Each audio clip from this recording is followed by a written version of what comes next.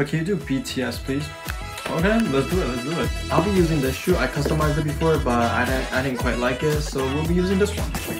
Alright, let's get it. We need this plate, and the shoe. This pastel color, so I'm mixing pink and white, add a little bit of purple maybe. I take a guess who I'm painting right now. I think it's RM or something like that. Yo, get you a guy who pays attention to the tiny things. Wait, I think that's Jungkook. Hold up, what? Wait, JK, JK, this is Suga. Yeah, yeah, for sure, for sure. Anyways, I hope you guys like this custom.